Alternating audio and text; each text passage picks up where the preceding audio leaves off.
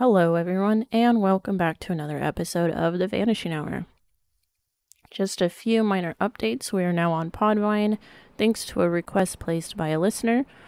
I'm still learning the ropes of it, but if you'd like to interact with episodes, leave comments, ideas, case suggestions, etc., please feel free to do so on Podbean as well as any of the social media platforms we are on, including Facebook, Instagram, Twitter, and YouTube. Sip of my extremely hot coffee. But with that being said, let's get started on this case. This case is a fairly recent one coming out of Texas. What appeared to have all the makings of an open and shut no brainer case is now going on its fourth year of being unsolved. The case is not cold by any means, but I think it's safe to say that everyone is still surprised that it's unsolved. This case has been plaguing me for weeks. The more I've researched, the more questions I've had. It's kept me up at night some nights. I went down some strange avenues, but I do want to bring them all in here and talk about them and ultimately theorize as to what I think happened. While there is a lot of coverage on this case in recent months regarding the basics of it and many opinions people may have, I haven't found much concrete information coming from the investigators themselves as of late. While I, while I am going to cover the more popular theories and discussions about it, I want to remain as close to the facts as possible because a lot of the analyzations of this case, in my opinion, have seemed to have gone off the rails a bit, and I don't want to add to that. I do want to warn any listeners that while this is a true crime podcast that covers murders and gruesome shit regularly, this episode will be going into some extreme detail regarding the death of someone. Anyone who Googles the victim's name will also be bombarded with real surveillance footage of the murder happening. It's extremely upsetting and hard to watch, and it's especially hard to listen to. I just want to throw this warning out there because, again, we will be covering in detail the footage in this episode. If this isn't something you want to hear, I do suggest maybe skipping the first 20 minutes or so of this episode, or altogether if you'd rather not risk it. That being said, let's get started. This is The Vanishing of Liz Barraza. Elizabeth, known to those close to her as Liz, was a charming and beautiful 29 year old woman. She was quirky and a self proclaimed nerd with an absolute heart of gold. After meeting her husband Sergio in college, the two married in 2014. Not long after, they moved into their dream home located at 8623 Cedar Walk Drive in the charming middle class tract neighborhood of Tomball, Texas. Tomball is approximately 30 to 40 ish minutes northwest of Houston for those of you who are unfamiliar with this area. Liz and Sergio both shared a passion for Star Wars and community service. They found a home for both in the worldwide costuming organization called the 501st Legion. This organization consists of avid fans of Star Wars, costuming, role playing, and other related activities who come together and share in the lore. They are known for donating time and efforts to spreading kindness and love to anyone in need. They hold events, help support charities, donate time to sick children and disabled adults in hospitals, and obviously a lot more. This, of course, is just the tip of the iceberg for what this organization organization does. Sip of coffee. Liz and Sergio were members of the Houston Squadron, with Liz actually holding the title for event coordinator for this particular branch at the time of her death. When they were not participating in the 501st activities, both Liz and Sergio held full time jobs. Sergio worked alongside his father in some sort of extension of construction. Off the top of my head, I can't remember if it was roofing or tiling or something in that vicinity, but he worked with his family, who I believe owned their own business at that time. Liz worked as a data reporter for a company called Rosen. She briefly held a part time job at a business called Cool Cat Party Warehouse as a side hustle. For those of you unfamiliar with that, it would be the equivalent of a party city, if you've heard of that, or any other specialty holiday store. It really did tie in with the passion for creativity that Liz had, and she enjoyed her time working for that company. On top of being a huge fan of Star Wars, Liz was also a huge Potterhead. This I can relate to. Growing up, I was a huge fan of Harry Potter. I had all the books, I saw all the movies, I dragged my mom and sister to go see them when they came out in theaters. I had the posters. And it seems that Liz was kind of the same way.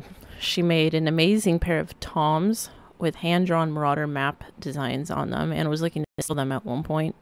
They look fantastic. If I could, I would have ordered a pair immediately. She was also a very family oriented person. She was very close with her mother, her father, and her brother and her sister. They were a tight knit family. Uh, her father and her bonded over moody blues music. And it was really sad to hear her father say that moody blues is just something he can no longer listen to since her passing. Her family has been so vocal about sharing her with everyone interested in her case, and you can tell that despite her being physically gone, she is still very much alive through the love and memories of her family and close friends.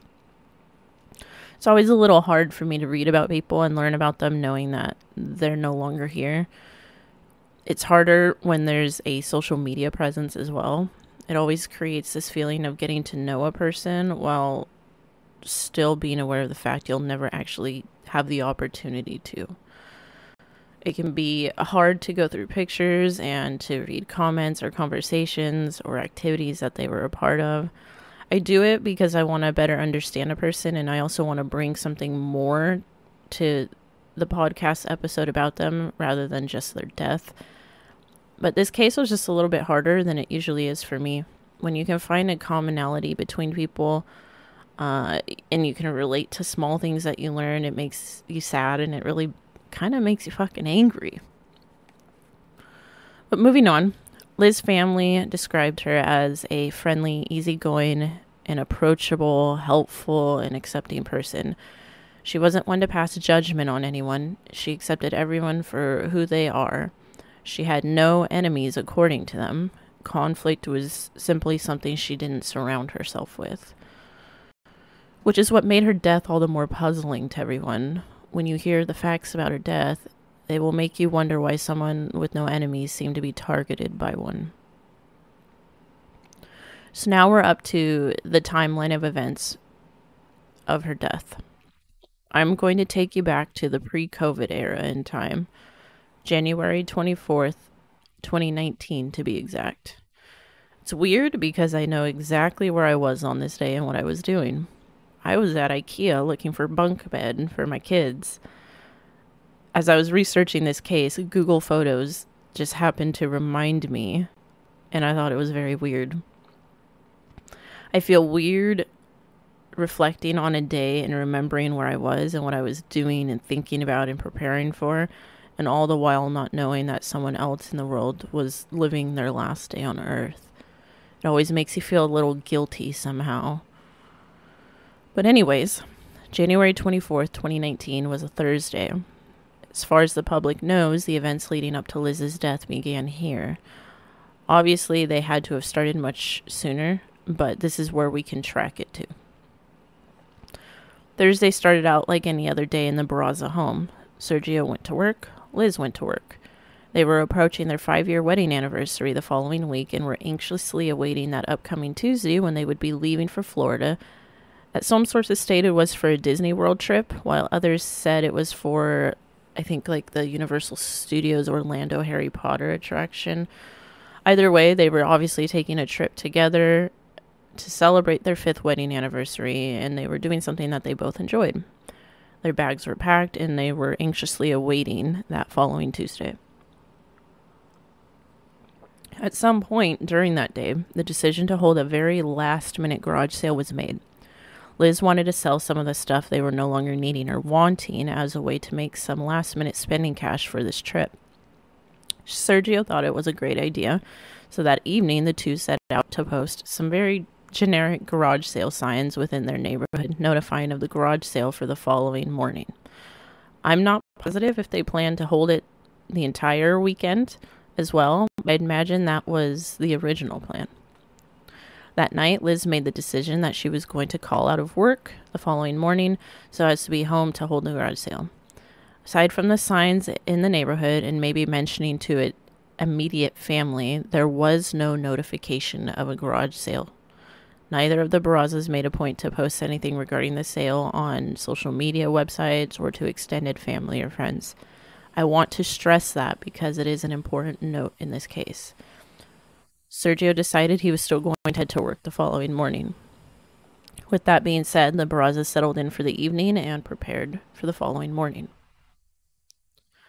Sometime between 12 midnight and 2 a.m. Friday morning, though, a home surveillance camera located on the corner of Oconee and Princeton Place spots a dark pickup truck entering into the neighborhood. Just to visually paint a map for you of this neighborhood, real quick, the main drag of this part of town is called Kuykendall Road. It runs north to south. Princeton Place is the access road you would turn on from Kuykendall in order to enter into the general neighborhood. it dead ends at Oconee.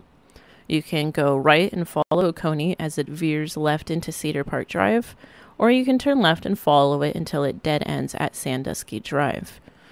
This particular camera is located at the T intersection of Oconee and Princeton Place. Aside from the time of night, there's nothing particularly of interest about the fact of this truck entering the neighborhood until later on in the morning. I give the two hour range because there is conflict, in fact, regarding the exact time of when this truck entered the neighborhood. Original accounts all stated that it was sometime around 2 a.m. However, a recent release of the police report states that the owner of the camera says that it was actually around 12 to 12:30 a.m. Hence the time range. Now, the truck is simply seen making the right-hand turn onto Oconee from Princeton Place, headed in the direction of the Barraza home. Both headlights are on, other than the fact that it is a dark four door crew cab truck. There is nothing else noteworthy. Sometime before 6 a.m., Liz wakes up and gets ready for the morning. At 6:08 a.m., she leaves the home and heads 3 minutes north to a nearby Starbucks for her morning coffee. At 6:16 a.m., the Barraza's Nest doorbell camera captures Liz returning home. She approaches the door with her drink and keys in hand. As she opens the door, she stops to make a silly face at the camera as she enters in. At this time, it is still relatively dark outside. The sun has not risen. But we see no sign of any vehicle passing by that matches the description of the one mentioned earlier. There is no one following her. She is alone at this time. Between 6:17 a.m. and 6:45 a.m., both Liz and Sergio begin to set up for the garage sale. Fold up tables are brought out into their two car driveway. They fill the tables with many things. There's a stormtrooper helmet that can be seen placed on the floor beside one of the tables, um, a Lego man like head helmet as well. I spotted a mini version of that famous bull statue in New York on one of the tables. There's a giant heavy treadmill that can be seen lining the left side of the driveway, and a cash box was set up on one of the fold up tables right next to Liz's Starbucks drink. There was obviously many items of value placed out for passerbys to see. At 6:48 a.m., two things happen. First, Sergio departs the residence in what some sources stated was a white utility van. The police report states that he asked Liz to arm the home security system as a safety precaution. Some people felt that was a weird request. Personally, I do not. It's kind of the reason you have one. If she's going to be home alone while hosting a garage sale, it's a smart thing to do. You don't want to turn your back to help someone and then somebody bum rushes your home and starts stealing all of your stuff. It just makes sense. At the same time, a security camera located on the outside building of a music school that sits right at the main entrance of the neighborhood where Kuykendall and Princeton Place intersect, picks up a very familiar black four door crew cab pickup truck, similar to the one spotted early morning, entering into the parking lot of the school. It idles in the parking lot for roughly 10 seconds before exiting the way it came in. One source stated that the car exited the parking lot going left towards Kuykendall intersection and then made a U turn at that intersection headed directly back into the neighborhood via Princeton Place. At 6:51 a.m., the same truck is now spotted on that same exact camera that's located at the T intersection where Oconee and Princeton Place meet. It's making a right-hand turn onto the Oconee Drive that leads into Cedar Walk where Liz is currently setting up her garage sale. I was not able to find any information that stated Sergio's vehicle crossed paths with the truck. The Princeton Place entryway is just one of a couple ways to enter into the general vicinity. Without knowing where Sergio's job is located, there's no way to know how he exited the neighborhood. I did read somewhere that Sergio told police that he was headed in the direction of a Lowe's where he would meet up with his family to usually start their workday. Google Maps places the only nearby Lowe's south of the family home on Kuykendall, roughly 5 to 10 miles south. If that information is correct, the most logical exit of, out of the neighborhood that Sergio would have taken that morning would have placed him going directly past this truck as he exited the neighborhood. Three minutes after Sergio departed the residence at 6:48 a.m., the Barraza doorbell camera spots the black truck drive past the home on Cedar Park Drive. It heads from the right of the screen to the left before disappearing out of line of sight. Liz at this time is also out of view of the camera on the left side of the screen, which is where their driveway would be. The layout of their home has the walkway to the door sharing a wall with the home, which creates a hallway like tunnel to the door. That wall blocks the view of the camera seeing the driveway or Liz at this point, but you can hear the faint sound of her Bluetooth speaker or her phone playing some sort of media, which is keeping her company while she sets up for the garage sale. It's important to point out that a neighbor's house across the street and a few houses to the left of theirs has a surveillance camera that just barely captures the front of the Barraza home, the driveway, and the street in front of it. It is at a fair distance away and maybe 480 quality, but it is enough to make out Liz, the tables, and the surrounding area. This camera also captures the black truck pa- driving past the Barraza residence. It maybe goes as far as one house length away before performing a three point U turn and stopping in what looks like the middle of the street, but it's possible it was off to the right hand side of the street where Liz was actually on. Headlights are on, and you can see the beams of light peeking through the trees that obscure the direct line of sight of the truck. You see a figure exit the driver's side of the truck and pass in front of it. The headlights flicker as a person's body passes in front of them. They seem to be walking at a slightly faster than normal walking speed. They are swift and fairly light on their feet. They step onto the curb and approach the table that Liz is standing behind. Person is dressed in a lighter colored, maybe white or light beige or other light toned dress, is the best blanket term to describe it. It's about knee length. It is not form fitting whatsoever. It has ample fabric and swishes as the person walks. Many describe it as a robe. I don't get robe from it, but that's not necessarily to say it isn't a robe. It reminds me more of like a, a loose mid-length trench coat of some sort or like a smock. If any of you read madeline as a kid you know that like blue little dress thing she wore? It reminded me kind of of that the way it comes out and is flowy. It does hint at a more feminine design but that doesn't mean that it is. Gibson also appears to be wearing some sort of knee-high boots or socks or some sort of stockings they're also light in color. They approach Liz, and as they get to the table, they appear to have their left hand in either a front side pocket of their dress or it's tucked close to their body before either touching the table or handing something to Liz. Liz takes one sharp step back, and then maybe 15 seconds tops later, the person's right arm extends and a flash is seen. You see Liz crumple forward at the waist as another two flashes occur. She falls back onto the ground onto her back. The person then takes a couple steps forward, arms still extended now, and standing immediately over Liz, and you see them look down. At this time, you can make out what appears to be either shoulder length dark hair or maybe possibly a headscarf or something similar that would drape down the way hair would if you extend your neck and look down at something. To me, it looks like hair. One more flash is seen before the person immediately turns around and dashes across the driveway towards their vehicle, the hair blowing in the wind behind them. They enter the driver's seat once more and they drive away. From the time the truck enters the neighborhood on Princeton Place and drives past the home to the time it departs after the shooting, a mere two minutes have passed. The video of the shooting did not capture the audio, however, the Nest doorbell camera of the Barraza home did.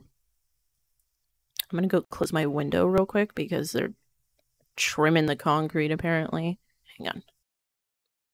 Now, the audio that can be heard is the background noise of media coming from either Liz's phone or Bluetooth speaker that she has playing while setting up for the garage sale.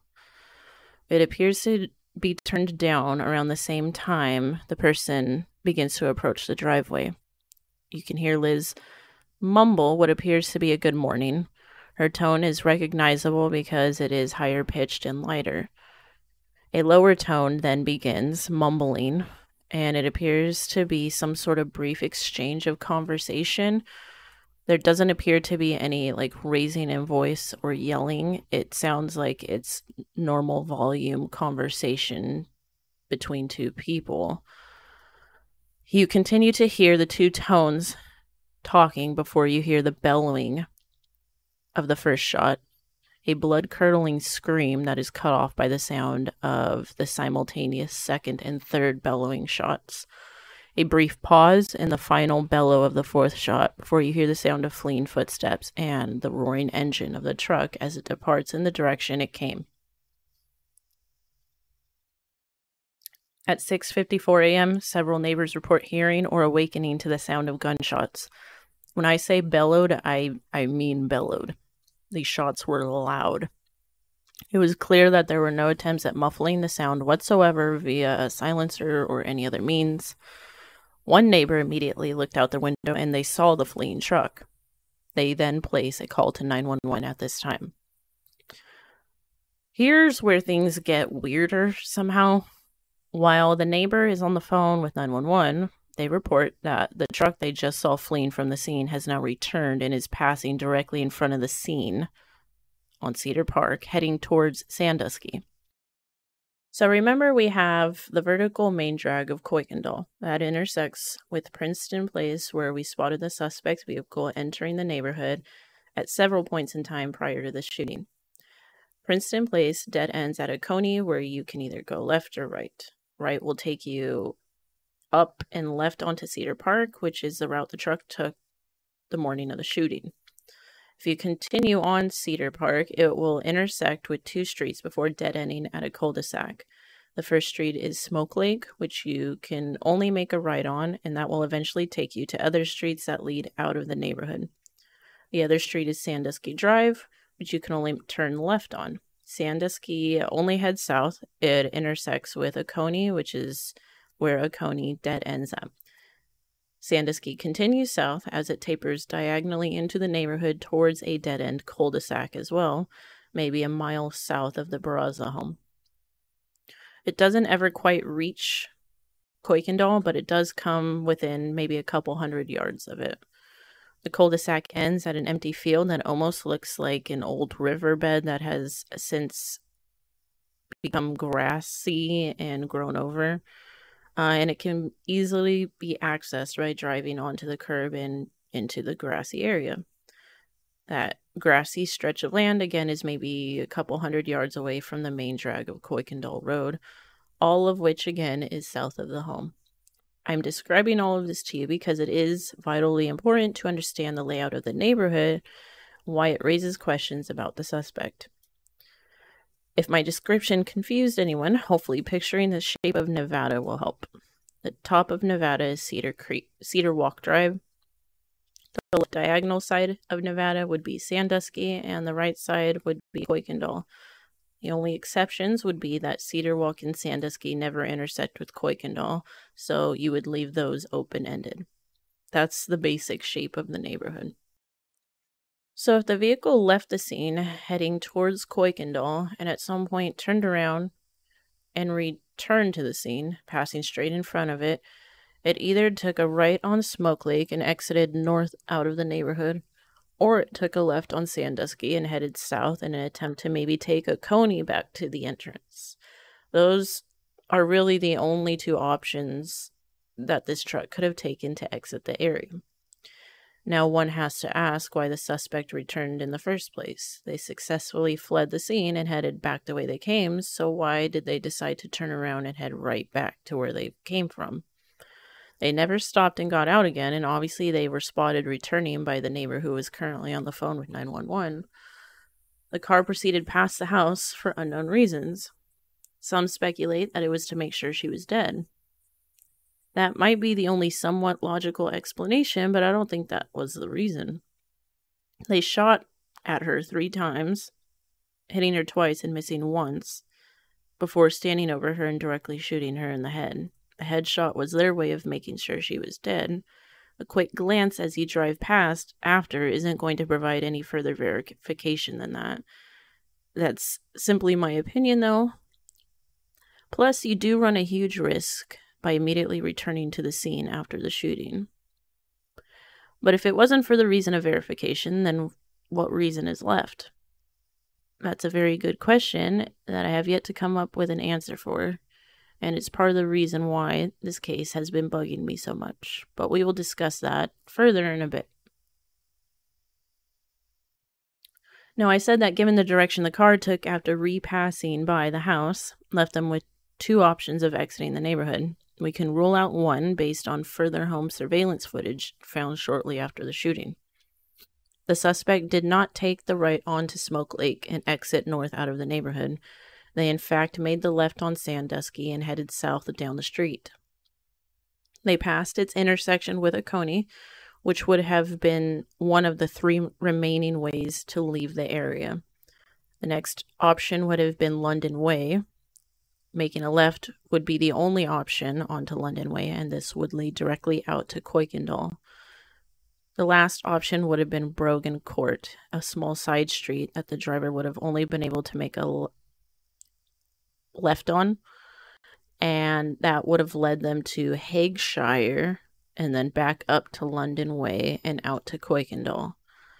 A camera south of all of these intersections allegedly caught the vehicle continuing south on Sandusky towards the dead end cul-de-sac at 6:58 a.m., 4 minutes after fleeing the scene. It allegedly never reemerged on camera to exit the neighborhood from any of the avenues I just mentioned. Knowing this, that begs the que- question of where in the fuck did this truck go? This point, there seems to be only three logical options as to where it went, at least that I can think of. Option one the vehicle proceeded to pull into any one of the various enclosed garages south of that last camera and remained there until a later time where it exited the neighborhood and just simply wasn't caught by any surveillance footage that was collected. That option would insinuate that the killer had a connection to the neighborhood in some form, whether they lived there, had friends or family that they visited, or something of that nature. While a plausible option, it does make you wonder why the truck was never recovered if the police performed a proper canvass or investigation into the area. Also, I'm pretty sure that any neighbors would have reported knowing someone owning or connected to that truck matching the description because of how highly publicized this case was after the shooting. That leads to option two. Option two is that the truck simply was missed by surveillance camera footage after passing by that last one. This is plausible because while we can view the footage of the truck on the camera from Sandusky four minutes after the shooting, we have no footage confirming it ever passed by again that was publicly released. I don't know if the police fine toothed the footage or how far after the incident they checked for the truck or if they even did or could. The only assurance provided that stated the truck never repassed by the camera was from the owner themselves in a text they sent another YouTuber who was gathering information about the case. I will provide links to this and other sources mentioned in the description of this video on YouTube if you're interested in hearing their findings. They did a great job at providing information and sharing their own thoughts and feelings on the case. even if I don't necessarily agree with all of them. Option three is the only other option that may be plausible. Option three suggests that the truck proceeded down Sandusky all the way down to its dead end cul de sac, where it then proceeded onto the curb and into the deserted grassy riverbed stretch of land that connected to Kuykendall, maybe a couple hundred yards away. There were no gates or obstructions of any kind. There were no cement blocks or anything that would deter a vehicle from passing through. To be fair, even if there were, this was a fairly hefty truck that would have been able to maneuver basic obstructions. You honestly probably could do the drive in a golf cart and you would be fine. It is not rough by any means based on the photos that I've seen. If this option is the case, though, the question needs to be begged as to why. Back at the scene, officers arrive. They secure the immediate area and enter the home. The alarm is set off, notifying Sergio and Liz's parents that they are there and something has happened. Sergio returns to the scene and is immediately questioned. Paramedics arrive and begin to perform life saving measures on Liz. Life Flight is ultimately called to airlift her to the nearest hospital. Sergio is asked to remain on scene to answer some questions. Based on all original accounts, he was asked what happened that morning when he left, anything unusual seen or heard. He's asked questions about Liz and if she or they had any known enemies. It was stated at that time that nothing was reported. The pu- public has operated under that assumption since until fairly recently, however. As I previously mentioned, the police report became public in recent months and it is revealed by one officer's account that Sergio mentioned during questioning at the scene that there was one person who Liz was in fact having issues with. I will not reveal this person's name despite it being public information. You're welcome to head to any of the sources listed in the description of this podcast on YouTube to view the report yourself. I will that the person is a female who was known to be a member of the 501st Legion that both Liz and Sergio, Sergio were members of. The information regarding the tension between Liz and this person is minimal at this time, but according to these sources, it has been privately validated to them by either current or former members of the Legion who were familiar with the situation at that time. As of right now, I will still be referring to this information as alleged because I myself have not been able to confirm any of it.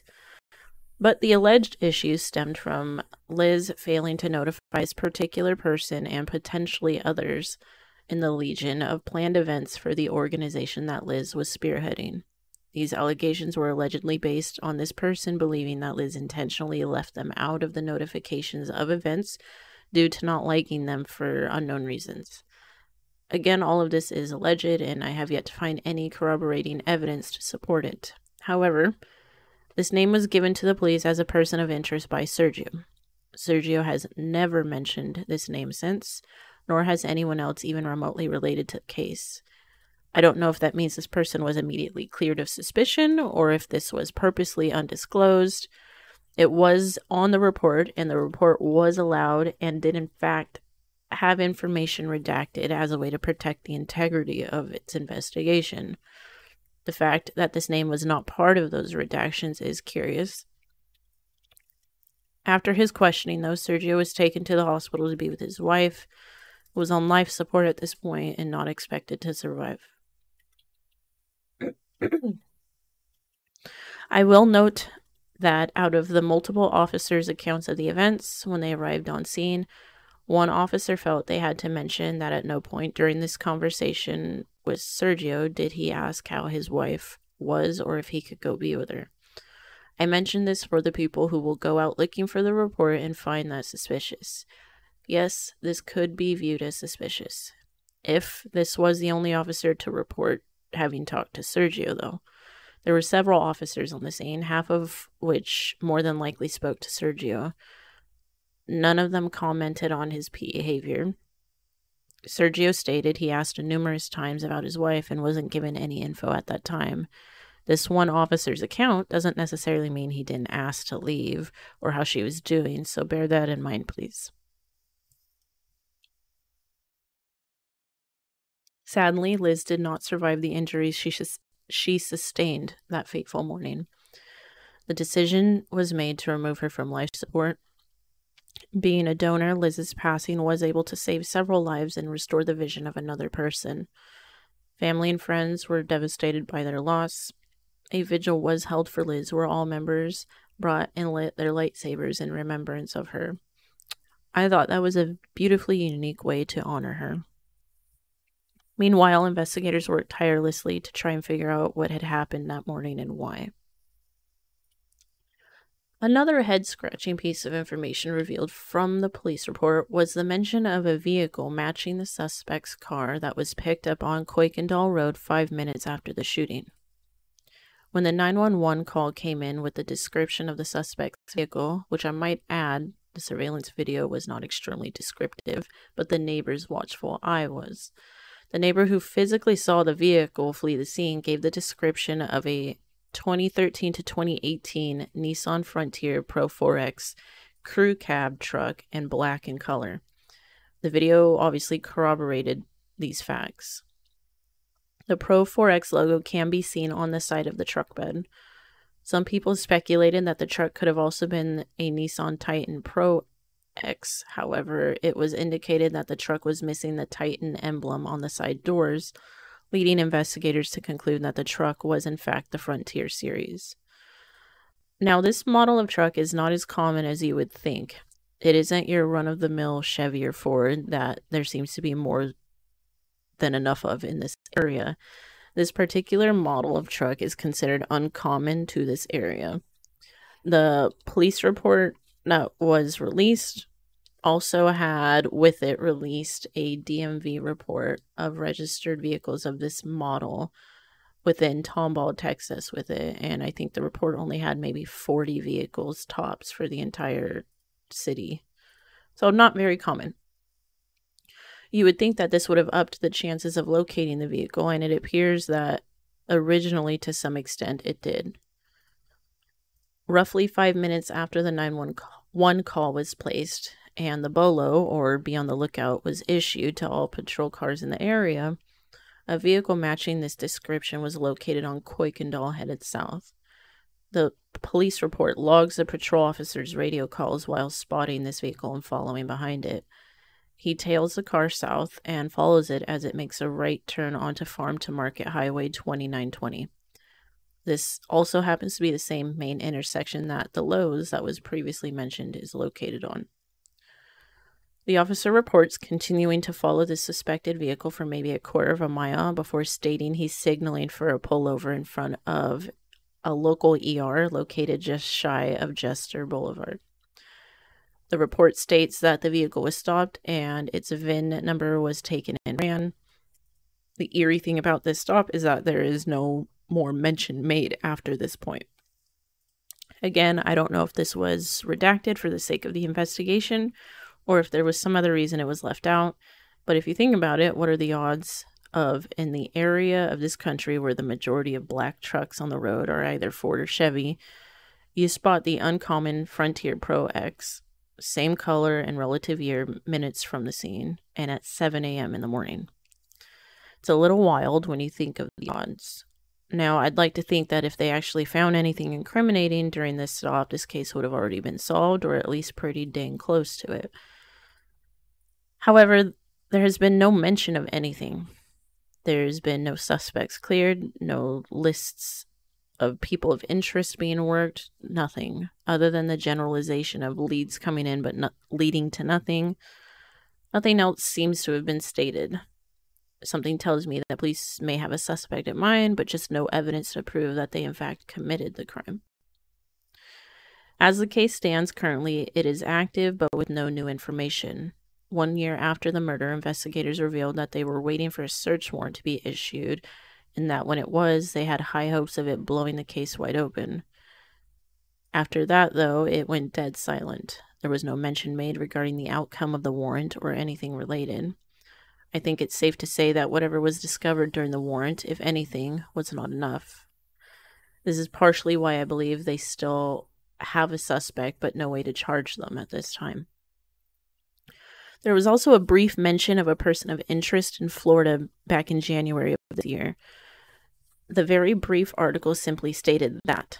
There was no further clarification, no update on how that panned out or how they came to this conclusion of a person of interest. This isn't uncommon, though. As I've stated many times, police never show their complete hand in an investigation. It wouldn't be wise to, but that is where we are at. What I would like to go over now, though, are issues that I have. First issue I have is where's the motive? Robbery is usually a fairly common one, but unlikely in this scenario because nothing was taken. As I mentioned, there were valuable items out there. There was also a cash box with a $100 in it that was untouched. On top of all of that, we saw the footage and we saw that the person literally walked up, shot her four times, and ran away nothing was touched by this person.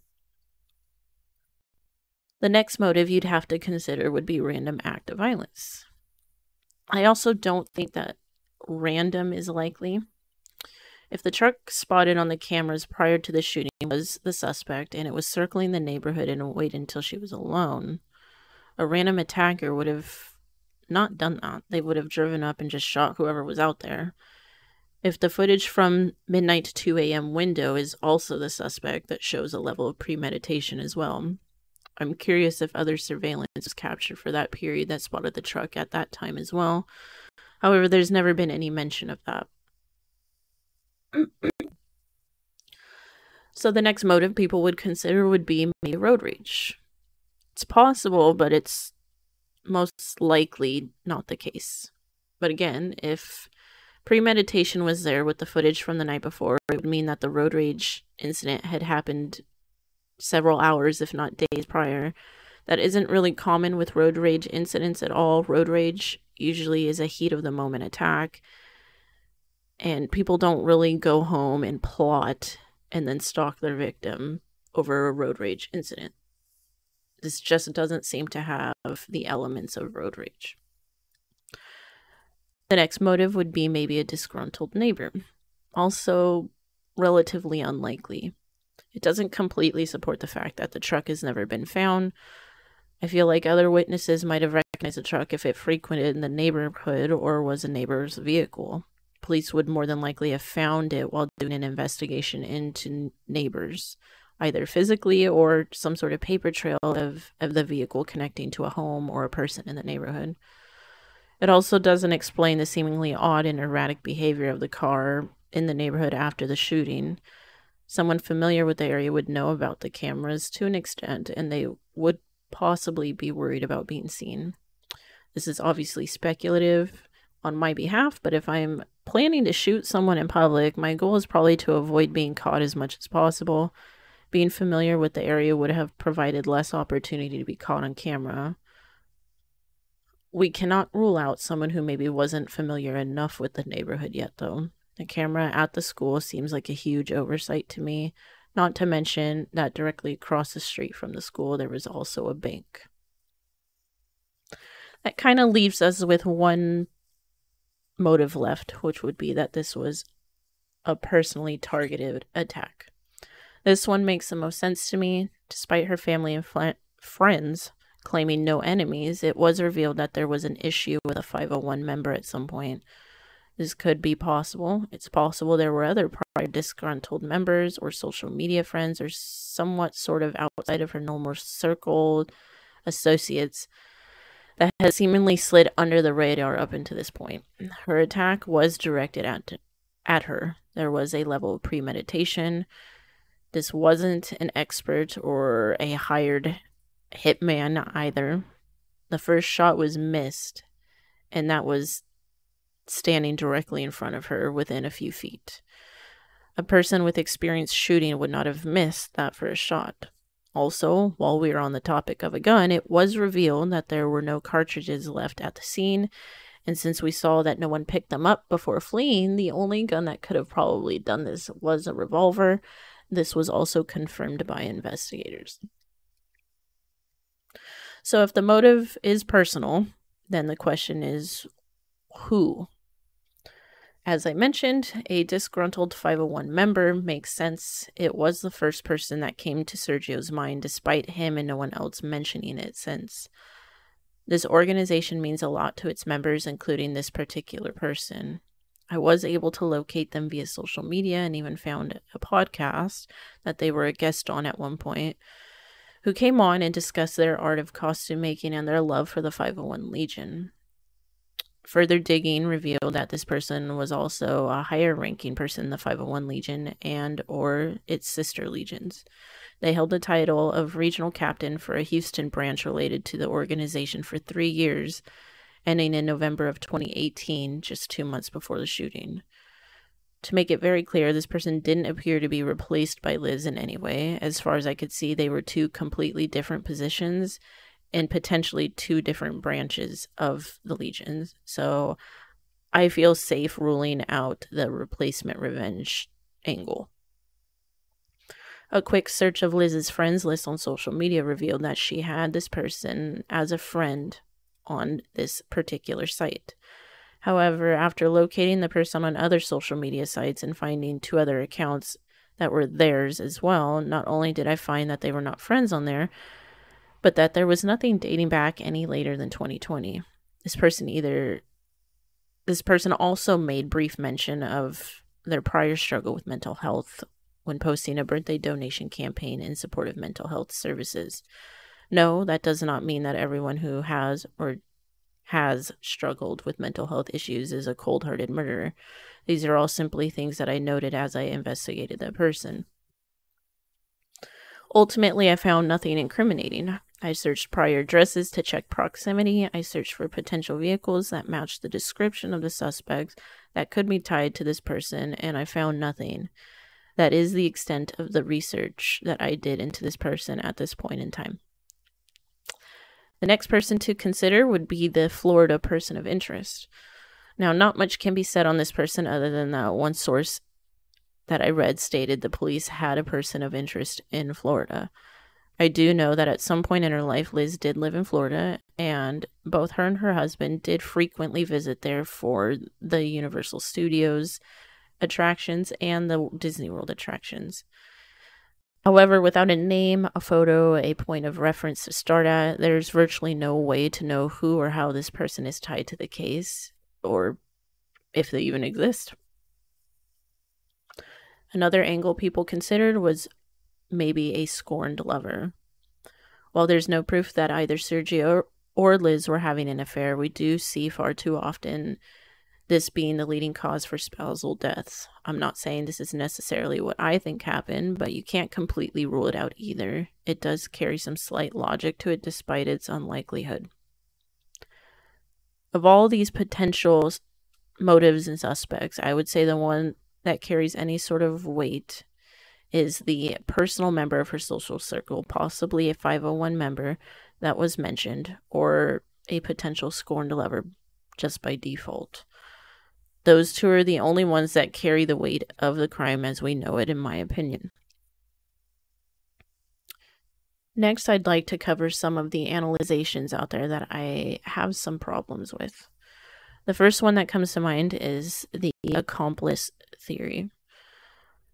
Some people believe that there was an accomplice physically present at the time of the murder. My issue isn't with this idea, but rather the way people have come to this conclusion. Obviously, this case is unique because the crime was caught on camera. The footage has since been released to the public. It is extremely grainy and from a very far distance, but it's clear enough to make out what happens and to hear what happens as well. It's honestly haunting. Now, investigators usually go through the process of enhancing footage within the range of not manipulating to see if there's any way they can clean up audio or visual that can provide further info. So far, there hasn't been much progress, professionally speaking, but that hasn't stopped many web sleuths and couch detectives from trying their hand at it. Problem is that people are so desperate to see something or hear something that they start to draw some seriously reaching conclusions. There's some people who've sworn they see an extra person in the snapshots of the vehicle fleeing the scene. I'm sorry, but there is no way to be able to definitively see anything. Personally, I've gone through hours of staring at the photos and watching the videos, adjusting lighting, etc., and there's nothing indicating there's someone there. That doesn't mean that there isn't, but that there, but there's certainly nothing there to say that there is either. One source said that police stated that more than one person was involved. I cannot confirm that they said that personally because I found nothing stating that from them directly, but let's just say that they did in fact confirm more than one person was involved. That doesn't automatically mean that puts another person in the car that morning. That could mean helping in planning, executing, and it could mean that this or other person or persons were the reason she was targeted to begin with. People also drew the same conclusion based off of audio that was captured from the Nest doorbell of the home that was just out of line of sight of the attack. Again, the audio is of minimal quality. You can hear the mumblings of a conversation before the booming shots and the screaming from Liz and the sound of the truck fleeing as it passes in front of the camera. Those are the only definitive sounds you can hear. The rest is mumbling, but again, people swear that they can hear numerous voices, distinct words, and dialogue. Again, none of these people are professionals, and if the pros haven't heard or seen it, I'm sure you're not hearing or seeing it either. A certain level of speculation is required in any investigation because it helps brainstorm ideas and avenues to investigate. I am a big believer in it, don't get me wrong. The whole podcast is built off of possible speculations, really, but I don't by- swear by any of it. No one should until it is proven without a doubt by factual supporting evidence. Next issue that I had was the attire and or the possibility of a mask being worn. Based off of the same reasons people believe there was a second person at the scene in the truck, some people have suggested that the shooter was wearing a mask. Some have gone so far as to say that they have determined the person was wearing a old man mask, the full-blown rubber head and neck pullover type. Again, they've come to this conclusion based off of extremely grainy millisecond footage. There is no physical way to determine this is in fact true. There were no witnesses stating they saw a person in a mask flee the scene. Investigators have no made no mention of believing this as well. Nothing I've seen of the concrete evidence available indicates that the person is wearing a mask.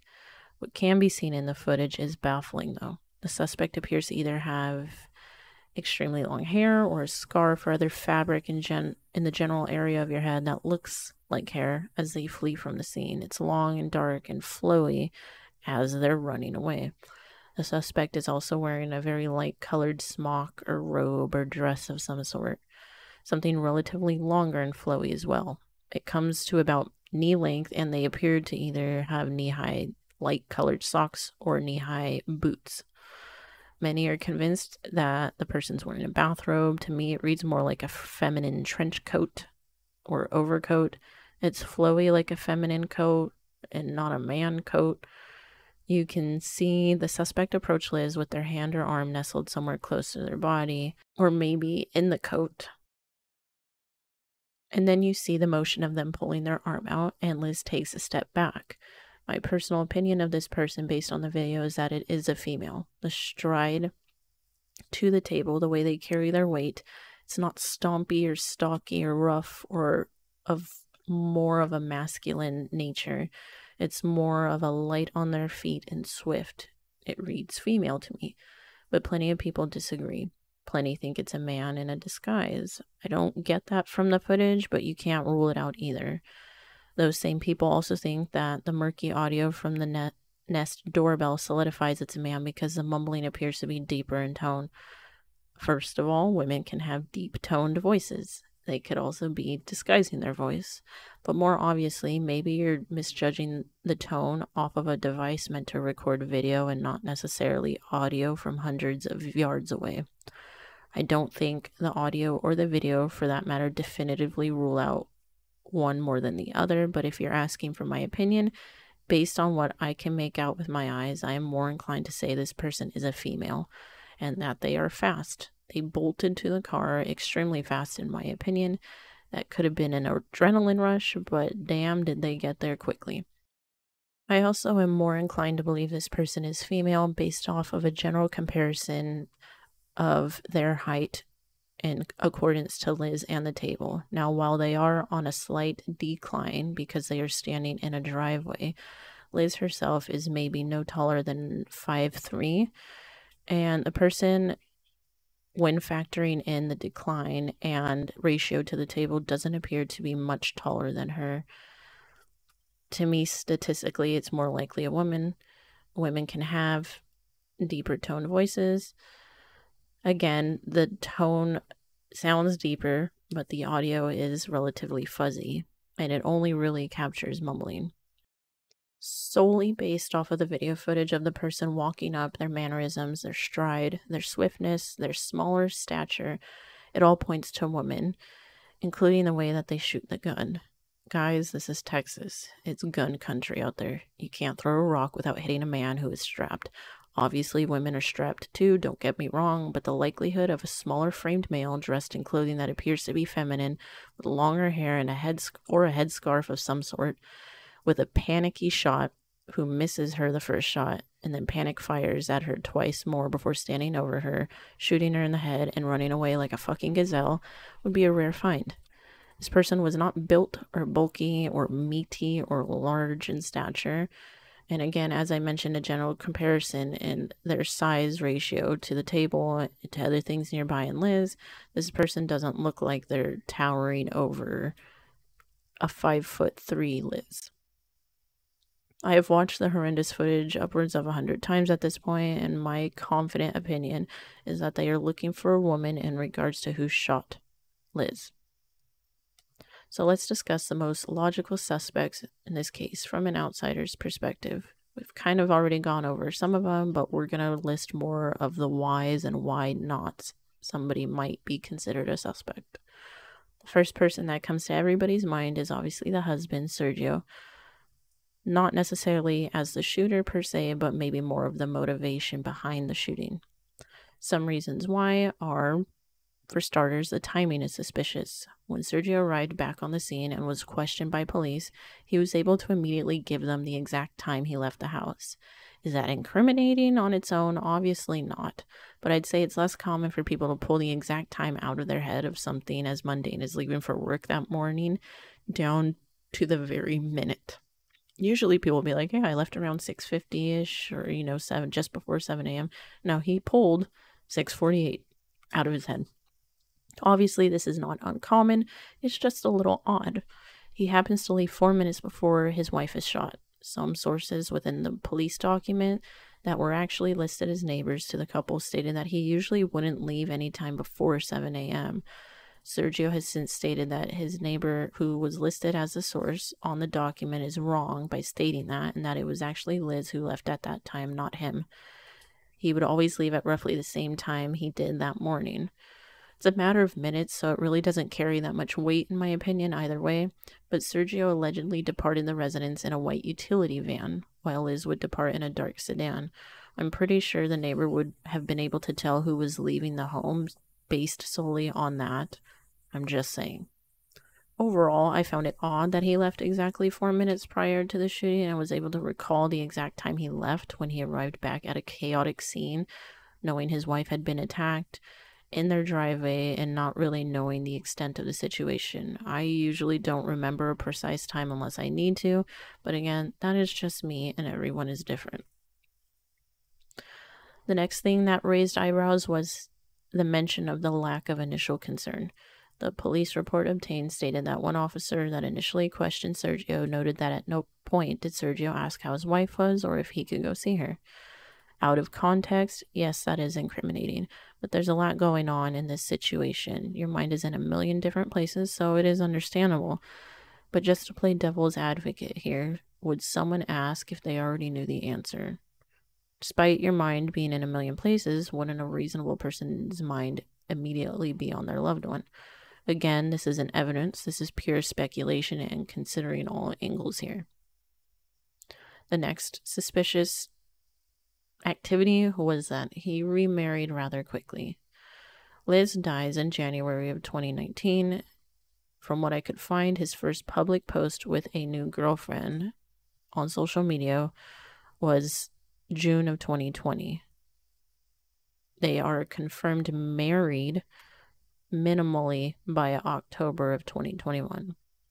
Now, this doesn't mean that every widower who's married after the murder of their spouse is a cold hearted piece of shit. People are allowed to move on. We all mourn differently, and none of us can speak to what he went through but him. From an outsider's perspective, some people felt that they had to wonder at a hasty marriage so soon after the death of his wife. Sergio has stated that he did not start dating his new wife until 18 months after Liz's passing. Prior to this, he did not know this woman, nor was he interested in dating or remarrying at that time. Things sort of just happened that way, according to him. I wasn't able to find anything with any with my limited capable capabilities. Man, am I stumbling today? That proved that he was lying about this fact, or that Liz maybe knew this woman, or that this woman knew either of them prior to her death. A very minute detail I wanted to throw out there as I was researching this was that I stumbled across a YouTube comment on one of the source videos of someone claiming to be a cousin of Liz's and stating that while they didn't initially suspect Sergio, they do now. They didn't give any reasons, they didn't give any verification of who they were. This was just an observation as I scrolled through comments on an informational video. There was nothing more substantiating the statement, and Liz's family has never publicly come out and stated that they felt Sergio had something to do with this. The other thing would be the person of interest that was mentioned by Sergio. The police report that was recently made public was revealed that the day of the shooting, Sergio revealed to officers on scene that there was one person Liz had issues with that was related to the 501st Club that they were a part of. Person's name, which again I will not reveal, but it is included in the report, has never been public, publicly mentioned by investigators, families, or friends, or even Sergio since this day. The only time this name has shown up is when Sergio stated it that day, according to this report. He has since stated that Liz never had issues with anyone. So the backpedaling is a little weird. Maybe he was instructed to do so. But if the report is public and that information wasn't redacted, it would indicate that he was never told not to mention this person, which makes it a little odd. Now, some of the reasons why I feel he is not a suspect Sergio has remained an active face in the push for justice for Liz, especially within the first year or two after her death. He continued to maintain contact with her family, he worked on memorials for her, and he seems to have a solid relationship with her family despite moving on with his life. His new wife is actively posting and reposting any information regarding Liz's death. I've personally seen the public posts on her social media accounts, and they do seem genuine. The police haven't named him a suspect or even a person of interest in this case. Ultimately, while I think this murder was a personally charged murder, and that can often be seen in spousal situations, and given the oddness of some of the facts surrounding Sergio, it is plausible. However, I don't know if I consider him a real suspect in his wife's murder. My gut takes me a different direction. However, that doesn't rule out her death being motivated by Sergio without him actually realizing that. The next, next suspect, oh, good God, on the list would be the new wife. Now, obviously, it's a logical suspicion to have when a husband remarries so quickly after the murder of his wife. Many have to wonder if they were already in a relationship. The uncertainty of the suspect being a male or female also does not eliminate her based on gender. Her listed addresses were all south of the crime scene, with one in particular coming up as a shared address to the couple post Liz but the route from the crime scene to the address follows the exact path that the suspect vehicle did the morning of the murder and the bolo and the traffic stop performed because of it. Reasons why I do not feel that she is a suspect is that there's no physical evidence suggesting she even knew Sergio or Liz prior to Liz's death, and it's not enough to marry a widower to consider somebody guilty of murder. I've failed to find any concrete connection, whether it be through cosplay, work, social circles, social media, etc. The only thing that ties her to this family before Liz's death is her close proximity to where they lived. And address history never put her more than 30 minutes away from them, but that is not enough to consider somebody a reasonable suspect. Next, the next suspect the coffee's kicking in. the next suspect on the list would be an angry associate. Obviously, if it isn't one of the above mentioned suspects, it would make sense that the next person is someone who is relatively close to Liz. This attack carries several notations of being a personally motivated attack. Maybe she didn't know the shooter specifically, but that doesn't rule them out of having a common person between them. Maybe the shooter was hired or asked to to to do this for someone. Good lord. While her friends and family and investigators didn't originally and still maintain that Liz had no conflict with anyone, that doesn't mean that there wasn't any. As I've mentioned already, with the release of the police report to the public that has revealed an otherwise opinion. I read through the report myself weeks ago. The report again revealed that Sergio named somebody that Liz was having issues with. As I've already mentioned, he allegedly brought their name up this one time and never since, nor has anyone else mentioned this person. Again, the person is someone from the 501st Legion who would place them in a general circle of socialness with Liz. I did confirm that they were friends on one social media website. No word on if the person has been cleared or is still considered a person of interest. My opinion is that they are the person who was part of the search warrant towards the beginning of the investigation. That's solely my opinion, though. I am not limiting the possibility to just this person, though. Something is nagging at me that there was more going on in the way of issues with people that hasn't been made public at this time. The mention of the Florida person of interest is also a possibility despite so little information regarding it. Reasons why this person wouldn't be a suspect would be regarding the Florida person of interest. We do know that while at some point in Liz's life prior to her death, she did actually live in Florida for some sort of period of time. She also visited frequently with her husband and was planning a trip the following week before her death. But aside from that, there is seemingly nothing more tying this person of interest to them. There was no mention of how this person is tied to the case or who they were.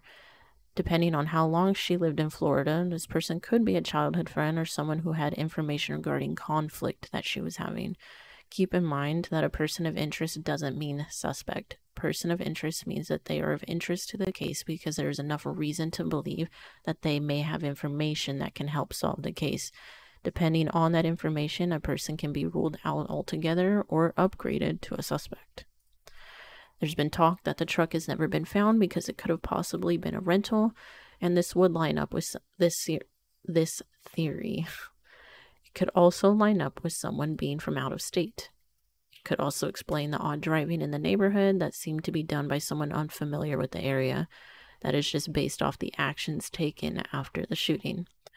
Obviously, with most of her family and friends claiming to not know any issues Liz may have been having with anyone, that does cast a slight doubt on this avenue, but it's not impossible. While she was close to friends and family, that doesn't mean she would automatically share this information. Sometimes we keep things to ourselves for whatever reason. Also, it's possible she was unaware of a problem someone had with her. This seems the most likely to me, and with the recent finding that Sergio had mentioned someone that changes this avenue completely and makes it, in fact, more plausible. So, to consider all the information we've gone over, I have done my best to form a theory that seems the most logical with minimal speculation. Here it is. I believe that Liz was targeted by someone who had taken personal issue with her. This may have been an issue she was well aware of that she didn't feel was a potential danger to her, or it could have been an issue she was completely unaware of. Regardless, this person had a vendetta against her. In a perfect world, I would scour her social media accounts, her phone records, text records, and any potential issues that were brought up to her in both her professional and extracurricular activities she was a part of. That includes the 501st Legion. Many accounts stated that there was nothing found, but with the contradicting information coming from the police report, I would say it's worth looking into again. The shooter, I believe, is a woman. Whether there was someone in the car with her that day or not is unclear at this time. There is no valid analyzation of footage or audio that convinces me there was. As far as a disguise goes, it's definitely possible that one was used, but to say that you see that in the footage available is far fetched. I won't rule it out as a possibility at this time, though. Either way, it does doesn't change anything. I do think there is a strong possibility that more than one person had a hand in this murder, I would say at least one other person knew that this attack was going to happen and at minimum did nothing to stop it, and that is at a minimum. Given the facts of the case, the shooter used a revolver since there were no cartridges left at the scene. Police have seemingly confirmed this. Judging by the evidence of the video, it was the far more common double action revolver and not a single action. I came to this conclusion based off of the footage and never witnessing the suspect having to manually pull the hammer in between shots. Double action is usually referred to as self cocking as well. Double action revolvers come in various chamber sizes, including 5, 6, 7, 8, and 10 shot double action. All of these would correspond to the amount of shots fired, with it being at 4. They are also notoriously known for being loud and somewhat incompatible with silencer attachments, although there does seem to be a few newer models that experiment with silencer attachment styles. The double action is also known to have a stronger kickback than the single action, making it a much harder gun to maneuver precision wise for people who are not used to firing the weapon. I attempted to locate the autopsy report in hopes of finding the type of bullet used so that we could narrow down the gun further. However, I wasn't able to locate that. Knowing this, though, and watching the footage, it is clear that the first shot was at very close distance. All of them were, and at no more than a couple feet max. And the first shot completely missed Liz and hit the house behind her. This caused the frantic second and third shots immediately after, one which hit her in the side of the head, the other hitting her in the chest. The final shot was delivered directly at her head as she laid on the ground. Missing the first shot and panic firing after at such a close range indicates someone unfamiliar with that particular gun. This suggests someone who had access to a gun rather than owning them, in my opinion, or some sort of gun enthusiast. They either bought it directly before the murder and had little to no practice using it, or they had access to guns and they took advantage of that that morning. Most likely, not their own guns. I'm personally leaning more towards the borrowing or maybe stealing idea. While this murder wasn't executed in a professional manner, there still seems to be steps taken in an attempt to elude police. I think purchasing a gun would go against that instinct. I believe someone out there knows their gun was borrowed or stolen around this time of the shooting.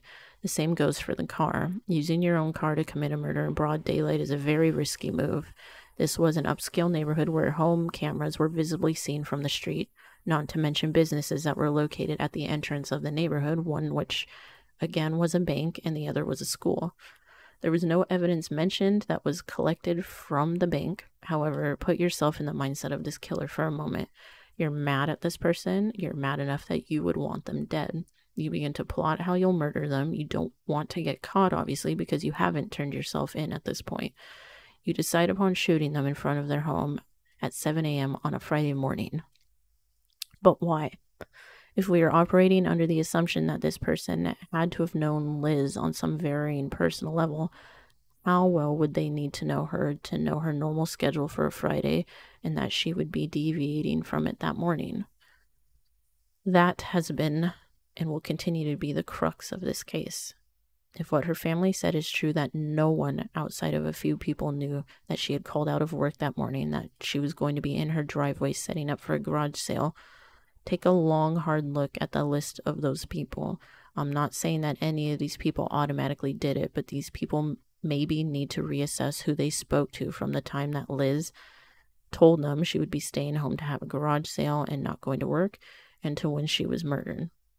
My gut tells me that more than a few people knew. It's possible that someone is slipping their minds or that they aren't aware that other people knew. While it is last minute, I wouldn't find it impossible to argue that maybe Liz last minute let some friends know about it in hopes that they would come out and support. It's completely possible that she did this and no one knew she did either. With a timeline this tight, you have to widen the net of possibilities that you originally ruled out. The likelihood that this person just got lucky that morning is relatively low. Now, that isn't to say that maybe this person's original plan was to ambush her on her way to her car that morning. They had an ample driveway and a two car garage, while on this day her car was parked on the street. I don't know if that was her usual habit to do so.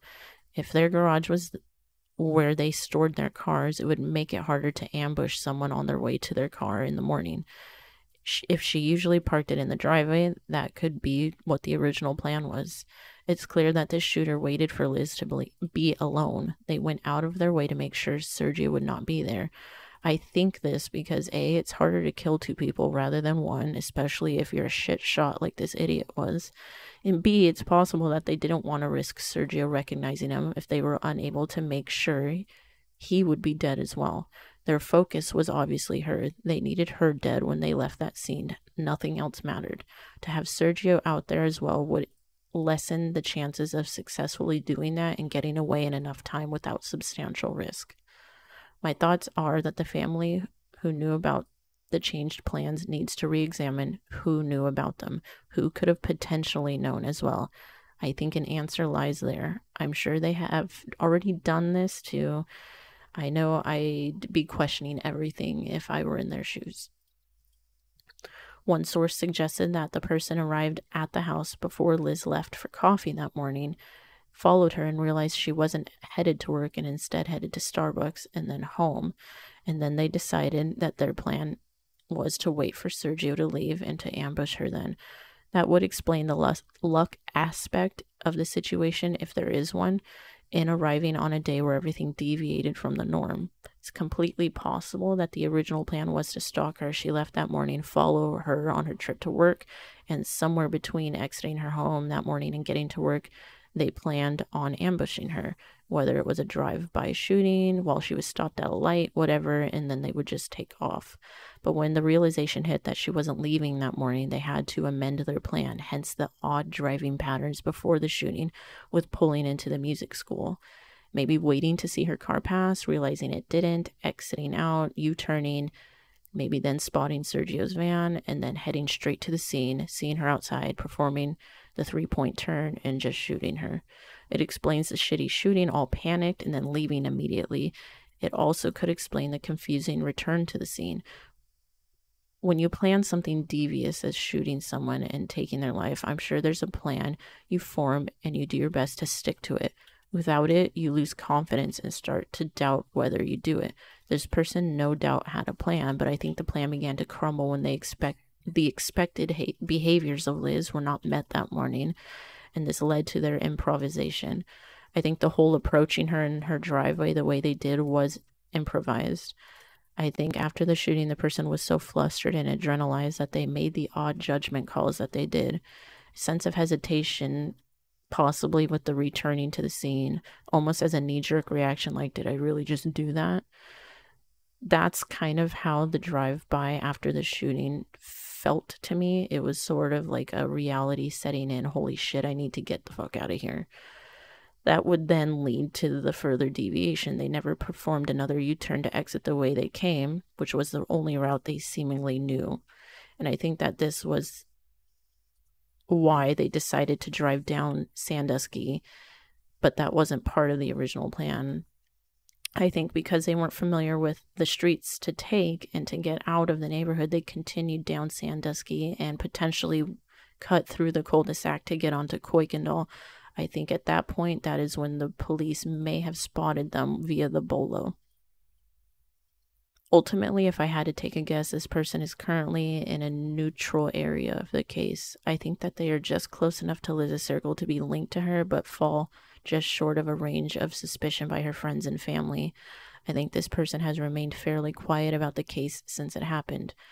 Some suspects that are part of social cir- circles of the victims like to throw themselves immediately into the middle of it all, acting as an advocate of justice, but using that as a guise to know where the case is and to manage their concern that way. This person, in my opinion, most likely will not be doing that. I think this person was immediately spooked by what they did and have since distanced themselves from anything related to it. I don't think they attended vigils or posted updates or pushes for justice or any part of that. I think they operate as if it never happened. That would be the type of person I was looking for. Ultimately, what all of us want at the end of the day is justice for Liz and her family. If anybody has any information regarding this case, please come forward. We are approaching the four year mark. Liz deserves justice and her family deserves peace. Until next time, guys, thank you for listening and stay safe.